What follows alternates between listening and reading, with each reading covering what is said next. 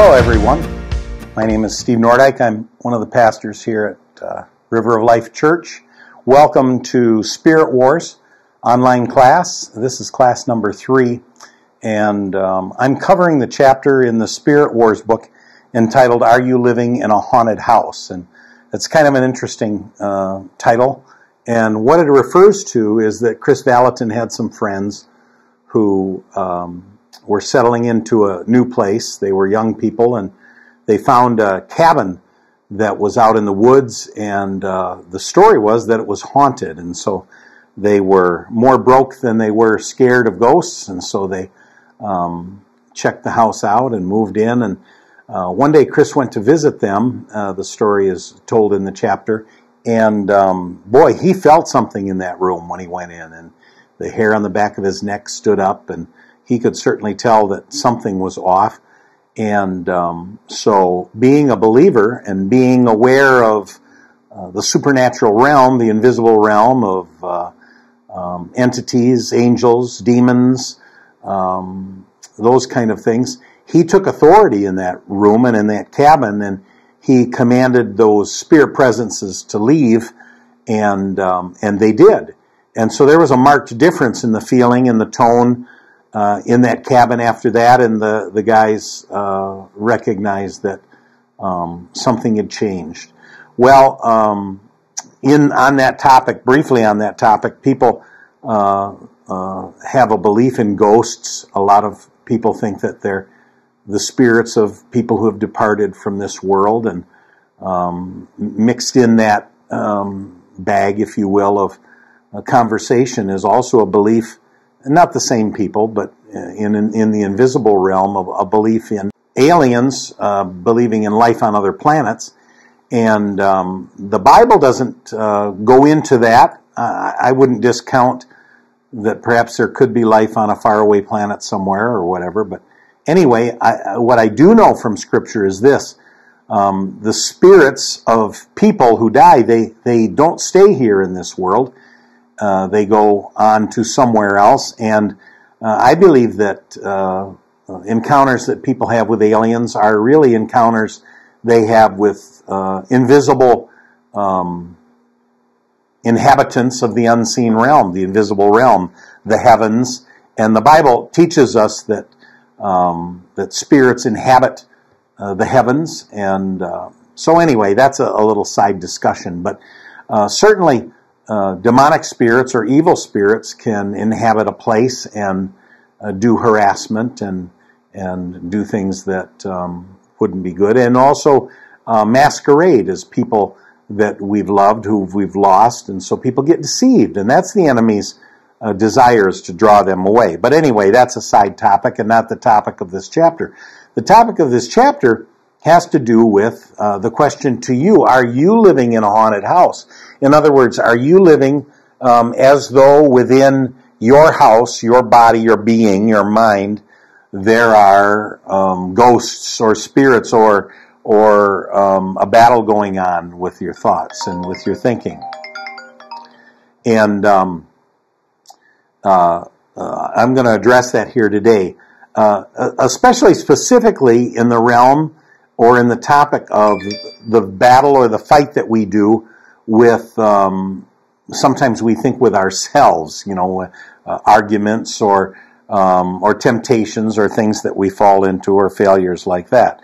And and a lot of people think that well, um, that's they have this picture of a good angel and a bad angel, and they're they're fighting, speaking into us and fighting each other. That's not a bad illustration, I don't think. But a lot of people think that especially, um, I, I, would say a lot of believers think that they're fighting what is referred and termed as the old man, and they have the new man born in Christ, born into the kingdom of God, but they're still fighting the old man, and that's what this chapter um, addresses and, and talks about. And so, um, to begin talking about this, I'm going to turn to Romans chapter 7. And in Romans chapter 7, starting with verse uh, 18, it says this. And if you have a Bible and you, and you can get it out or you have a, a Bible on your phone, pull that up. Romans chapter 7, verse 18. I'm going to read that. For I know, and this is Paul writing, for I know that in me, that is my flesh, nothing good dwells. For to will is present with me, but how to perform what is good I do not find. For the good that I will to do, I do not do, but the evil I will not do, that I practice. Now if I do what I will not to do, it is no longer I who do it, but sin that dwells in me. I find then a law that evil is present with me, the one who wills to do good. For I delight in the law of God according to the inward man, but I see another law in my members, warring against the law of my mind and bringing me into captivity into the law of sin which is in my members. O wretched man that I am, who will deliver me from this body of death? Now, a lot of people read that, a lot of believers, I'll say, when I say people, I mean believers. A lot of believers will read that and they'll say, man, that describes the battle that's going on in me. I want to do good and I want to serve God, but it just seems like the old me is dragging me back and it's back and forth. And they, they cite this scripture as, as evidence that that is normal and that is what happens. But, but, um, Kris Vallotton, and, and I agree with him, have a different explanation for that. And I want to propose it to you this way by first uh, putting Romans chapter 7 in a context where we find a greater understanding of the battle that's going on. And to do that, we're going to go back to Romans um, chapter 6, uh, starting with verse 1, um, previous to Romans chapter 7, obviously, where he says in uh, Romans 6 1, What shall we say then? Shall we continue in sin that grace may abound? Certainly not. How shall we who died to sin live any longer in it? Or do you not know that as many of us as were baptized into Christ, we were baptized into his death? Therefore, we were buried with him through baptism into death, and just as Christ was raised from the dead by the glory of the Father, even so we also should walk in newness of life. For if we have been united together in the likeness of his death, certainly we also shall be in the likeness of his resurrection. Knowing this, that our old man was crucified with him, that the body of sin might be done away with, that we should no longer be slaves of sin. For he who has died has been freed from sin. Now, if we died with Christ, we believe that we shall also live with him, knowing that Christ, having been raised from the dead, dies no more. Death no longer has dominion over him. For the death that he died, he died to sin once for all, but the life that he lives, he lives to God. Likewise, you also reckon yourselves to be dead indeed to sin, but alive to God in Christ Jesus our Lord. Therefore, do not let sin reign in your mortal body, that you should obey its lusts. And do not present your members as instruments of unrighteousness to sin, but present yourself to God as being alive from the dead, and your members as instruments of righteousness. For sin shall not have dominion over you, but you are not under the law, but under grace. So here's an explanation for this. He talks in this chapter about being dead to sin and alive unto God, and our example being Christ himself, the example of dying and then resurrecting. And so we died and resurrected to the new man, our dead man, our old man being dead. And so if our old man is dead, how can he be alive again? So what we have here in Romans chapter 7 is a contrast with Romans chapter 6. Romans chapter 7 is us under the law, and Romans chapter 6 is us born again, born of the Spirit, and set free. So that's the, that's the situation. Now let me confirm that with you because at the end of Romans chapter 7 where he talks about that struggle between uh, what I want to do, I don't do, and what I do, I don't want to do, that kind of thing. He says, he ends that in verse 24, O wretched man that I am, who will deliver me from this body of death? He didn't end with that question. He continues on in the next verse with the definitive answer. He says, I thank God through Jesus Christ our Lord. That's the answer. Who will deliver me from this body of death? The answer is Jesus Christ my Lord.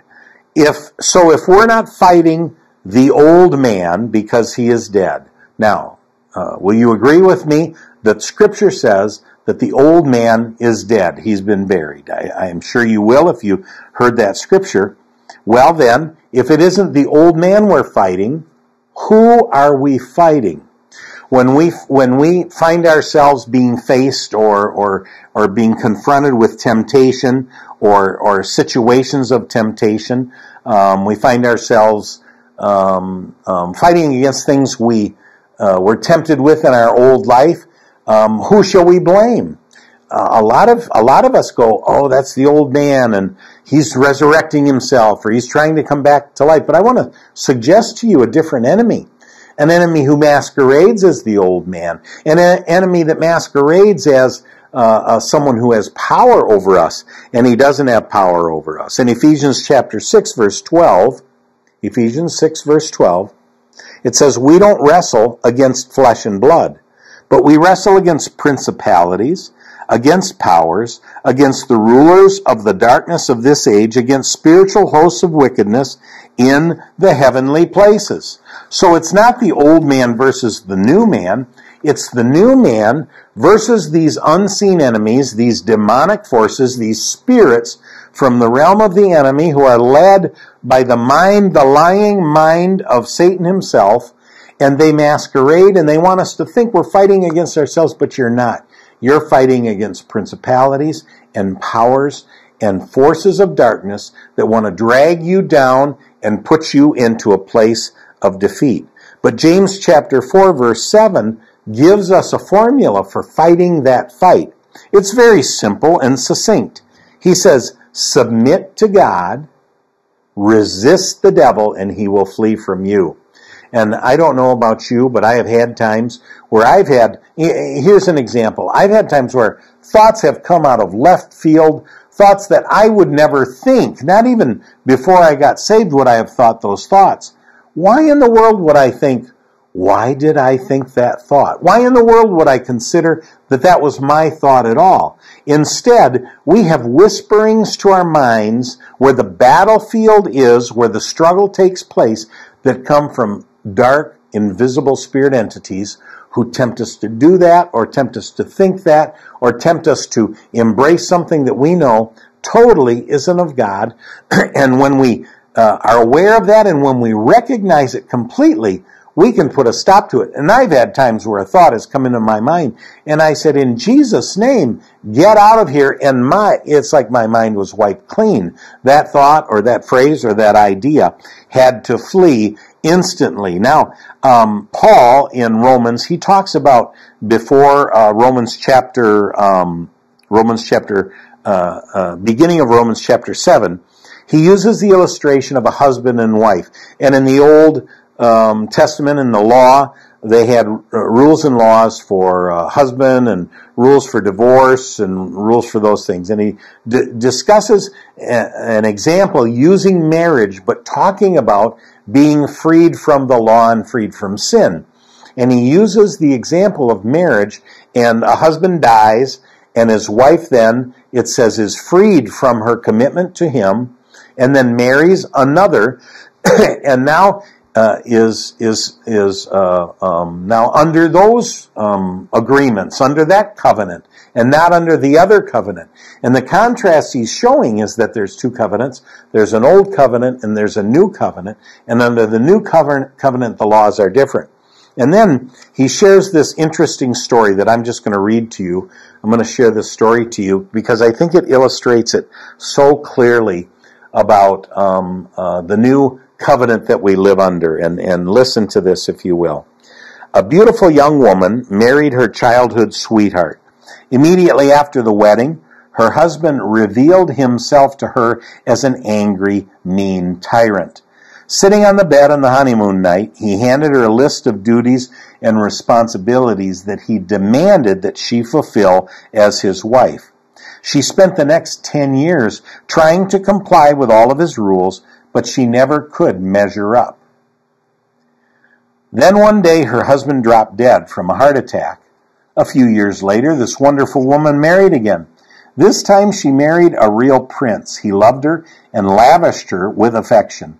They had an amazing marriage. Well, years passed, and one day she was cleaning out her old hope chest and she ran across that list from her first husband that he had given her on her honeymoon. As she reviewed his demands, anxiety began to fill her heart. Then something remarkable happened. She suddenly realized that all the demands that she could never fulfill when she was married to the mean husband had become the very things that she did naturally for years out of a passion for her prince. And this is precisely what Paul is saying in Romans chapter 7.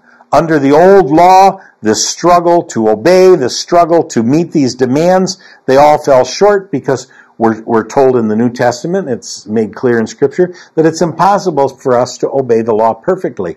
But under grace, under Christ, we find that we fulfill those requirements and those elements of love that flow out of our heart, and we do just naturally. it says, Behold, all things have become new when we when we find that new covenant relationship. Romans 8, 5 and 6 says this, those who live according to the flesh set their minds on the things of the flesh. Now, oftentimes when we read these passages, we focus on the flesh and we immediately insert the old man. But let me bring an emphasis to the word minds. Those who live according to the flesh set their minds on the things of the flesh. But those who live according to the Spirit, they set their minds on the things of the Spirit. And so the real key here and the real um, victory here is where we turn our minds. And our minds, again, let me describe. They're the battlefield where the enemy fights his war. So as you begin to fight against those temptations, those lies, those identities that the enemy brings into us and wants us to embrace and believe uh, over the Word of God that says we're redeemed and we're the righteousness of God in Christ, begin to fight those things with your spiritual weapons, not giving in to an idea that, oh, that's you and that's the old you, but instead that's the enemy who wants to defeat you. It says, those who live according to the Spirit, they set their minds on the things of the Spirit. Galatians 2.20 says this, I have been crucified with Christ. It's no longer I who live. So that old man is dead. Quit believing the lie that he's trying to resurrect or that he's alive again.